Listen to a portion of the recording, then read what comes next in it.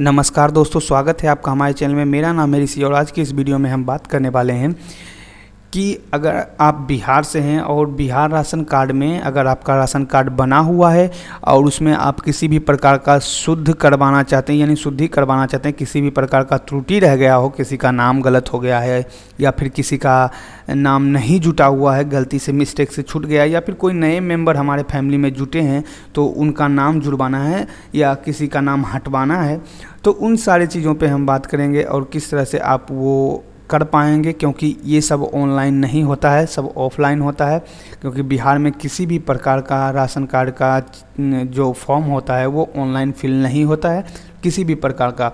तो आप ऑनलाइन में मत पढ़िएगा आपको मैं जो स्टेप बता रहा हूँ, आप सीधे ऑफलाइन के साथ ही ये प्रोसेस कीजिएगा। मैंने एक वीडियो सुबह में डाला था, यानी कल एक वीडियो डाला था, जो कि अगर आप नए राशन कार्ड बनाना चाहते हैं तो आप उसके लिए फॉर्म किस तरह से अप्लाई कर पाएँगे, उसके लिए मैंने एक वीडियो बनाया था। तो अगर आपको उन्हें वो वीडियो नहीं देखा है तो नीचे लिंक डिस्क्रिप्शन में भी होगा, आई बटन में भी होगा, और साथ में मैं एंड स्क्रीन पर भी डाल दूँगा, यानी जो सबसे लास्ट में स्क्रीन पर दिखाई देगा वो वीडियो। तो आप वो वीडियो देखकर नए राशन कार्ड के लिए भी अप्लाई कर सकते हैं। तो इसमें मैं बताने वाला हूँ कि अगर आपकी कोई त्रुटि हो गई हो तो उसे शुद्ध किस प्रकार से करवा पाएँगे साथ ही आप किसी फैमिली मेंबर का नाम किस तरह से इसमें जुड़वा पाएँगे। तो जिस तरह से आप देख पा रहे होंगे कि मैं अभी ईपीडीएस की वेबसाइट पर आया हुआ है यानी कि जो ऑफिशियल वेबसाइट होती है ए, हमारे राशन की राशन वितरण की जो ऑफिशियल वेबसाइट होती है उसमें। तो इसमें आपको मैं उसी वीडियो में बता दिया था कि यहाँ पे सब कुछ लिखा हुआ है कि उसका चालू हो चुका है क्योंकि ये दो चार पाँच साल में शायद एक ही बार राशन कार्ड बनने के लिए या सुधार करवाने के लिए चालू होता है तो अभी वो चालू हो चुका है तो मैं आपको ये अपडेट दे रहा हूँ कि आप उसे जाके करवा लीजिए। तो यहाँ पे आप नीचे जब आइएगा तो यहाँ पे आपको पपता को को और ख पे क्लिक करना है, यानी के और के एच पे फॉर्म को खोलना है। खोलने के बाद आपको कुछ इस तरह का दिखाई देगा। आपको सात नंबर पे चले आना है। सात नंबर जो पेज होगा, उस पर आपको चले आना है। इसमें कुल अठारह पेज होंगे। आपको सात नंबर पेज पे चलाना है। सात नंबर पेज पे आने के बाद आपको दिखेगा पात्रता खा, यानी कि आपको ख नंबर की जो फॉर्म होती है, उसे खोल लेना है।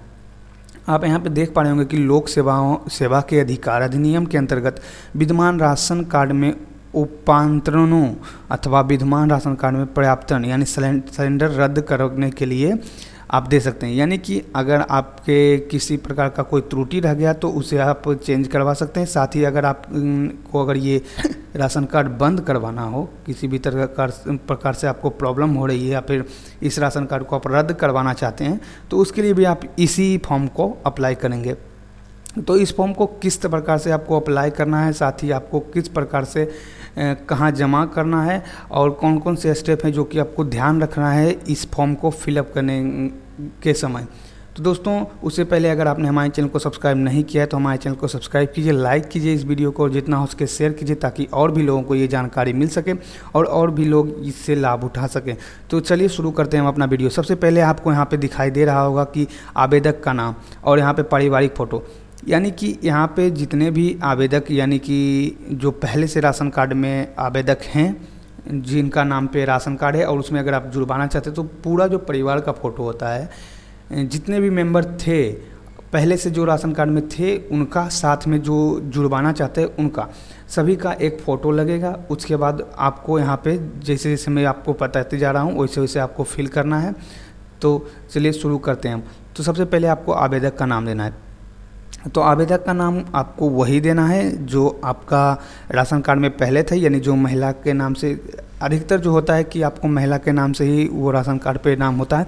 तो सबसे पहले आपको आवेदक का, का नाम में उसी का नाम देना है और उसके बाद उनका आधार नंबर उनका मोबाइल नंबर उसके बाद आवेदिका का पिता का नाम तो उनका आप पिता का नाम दे देना है।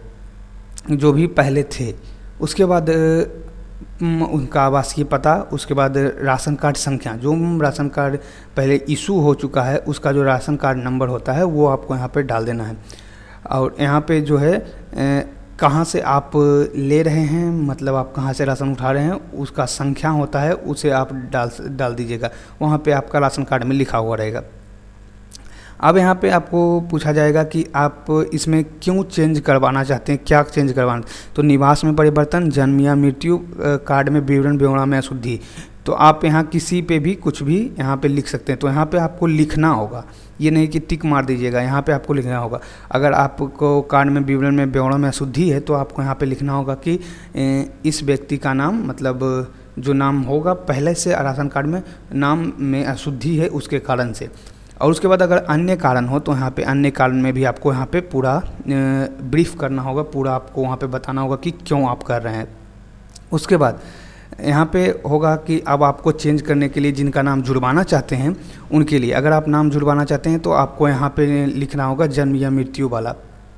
तो जन्म में आपको दे देना है यहाँ पे कि इस व्यक्ति का जन्म हुआ है या ये जो मेरा नाम है, ये मेरा इस व्यक्ति का हमारे में फैमिली में जन्म हुआ है। या अगर आप कि, किसी बड़े यानी जो शादी करके आए हैं तो उनके लिए आपको निवास में परिवर्तन देकर आपको यहाँ पे लिखना होगा कि इनका शादी हमारे घर में हो चुका है तो इसके लिए आपको मैं ये आवेदन कर रहा हूँ। उसके बाद जो पहला में होगा, यहाँ पे आपको आवेदी आपको उनका नाम देना होगा, जिनका नाम आप जुड़वाना चाहते हैं, उनके पिता का नाम, उनका लिंग, उनका उम्र तथा वैवाहिक स्थिति, यानी आप मैरिड हैं या अनमेरिड हैं वो। उसके बाद उनका संबंध क्या है आपसे? उसी तरह से आप यहाँ पर भर लीजिएगा। उसके बाद आप जब नीचे आते हैं तो आपको यहाँ पर दिखाई देगा आधार नंबर। यहाँ पे आपको उनका आधार नंबर, मोबाइल नंबर, साथ ही अगर वो कौन सा जॉब कर रहे हैं या मतलब कोई खुद का बिज़नेस कर रहे हैं या उन, वो सरकारी नौकरी है तो वो भी आपको यहाँ पे डालना होगा। उसके बाद आमदनी का स्रोत। आमदनी का स्रोत क्या है? तो यहाँ पे आप कृषि डाल सकते हैं या फिर कुछ भी डाल सकते हैं जो उनका आमदनी का स्रोत। मासिक आय। मासिक आय आप हमेशा ध्यान में रखिएगा कि उनका भी दस हज़ार से ऊपर ना हो। यानी उनका मंथली जो इनकम होता है, वो यहाँ पे आप दस हज़ार से ऊपर ना दिखाएँ। क्योंकि आप अगर यहाँ पे दस हज़ार से ऊपर दिखाते हैं तो हो सकता है कि आपका जो पहले से राशन कार्ड चल भी रहा है, वो भी रद्द कर दिया जाएगा। तो इसलिए यहाँ पे राशन, यहाँ पे आप दस हज़ार से कम ही दिखाएँगे, और अगर दस हज़ार से ऊपर है तो आप अप्लाई नहीं कीजिए। उसके बाद यहाँ पे नीचे आप दीजिएगा कि यहाँ पे विद्यमान राशन कार्ड के लिए प्राप्त रद्द करने के कारण रद्द करने का कारण।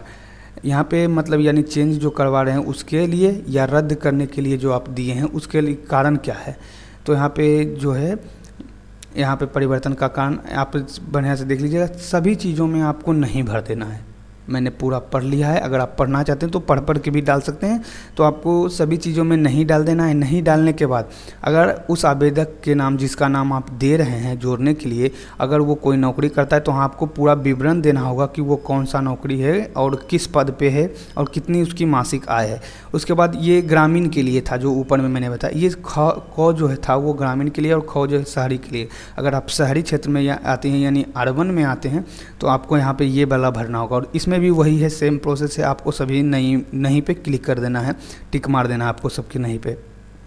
उसके बाद यहाँ पे जो राशन कार्ड है, उसमें आपको सारा चीज़ भरने के बाद यहाँ पे आपको दिनांक डालना होगा, यानी डेट जिस डेट को आप अप्लाई करें उसके बाद स्थान डालना होगा, कहाँ मतलब आप अपने ज़िले का नाम डालिएगा, उसके बाद यहाँ पे जो आवेदक हैं, जो पहले से जिनका राशन कार्ड था, उनका नाम डालना है तथा उनका अंगूठे का निशान मतलब नाम या हस्ताक्षर जो कहते हैं, साइन जो कहते हैं, वो करना है और नहीं तो अंगूठे का निशान अगर लगाते हैं तो अंगूठे का निशान ही उनका लगा देना है।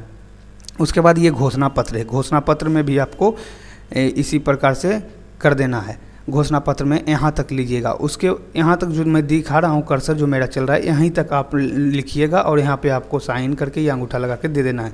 ये जो नीचे वाला है, इसे आपको छोड़ देना है। उसके बाद आपको एक हाफ़ डिपिट बनवाना होगा।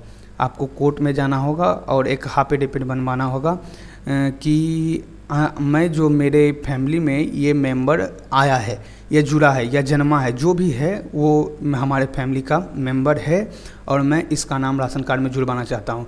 तो आप अगर सीधे एक वकील को, वकील के पास जाइएगा, उनको बोलिएगा कि, सर, मेरा जो राशन कार्ड है, उसमें कुछ अशुद्धि है या फिर कुछ किसी का नाम जुड़वाना है तो उसके लिए मुझे एक आफेडिविट चाहिए। तो उनको आफेडिविट जब आप बोल दीजिएगा तो वो टाइपराइटर से टाइप करवा के आपको वो आफेडिविट साथ ही आपको इतना ध्यान रखना है कि जो फैमिली फ़ोटो लिए थे, वो एक इस पर भी चिपकाना है और एक जो है, आप आफेडिविट जो बनवाएँगे, उस पर भी आपको देना पड़ेगा।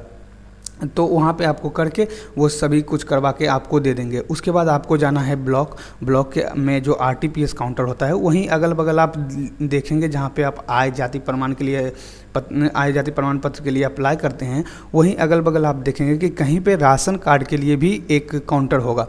तो मुख्यतः वो जो काउंटर होता है, वो बंद ही रहता है, लेकिन अभी वो चालू होगा। तो वहाँ पे आपको जाना है, वहाँ पे आपको इसे फॉर्म को अप्लाई कर देना है। उसके बाद इस फॉर्म को अप्लाई करने के बाद आपको 30 से 31 दिन के अंदर वो आपको पता चल जाता है कि आपका रिजेक्ट हुआ या अप्रूव हुआ है।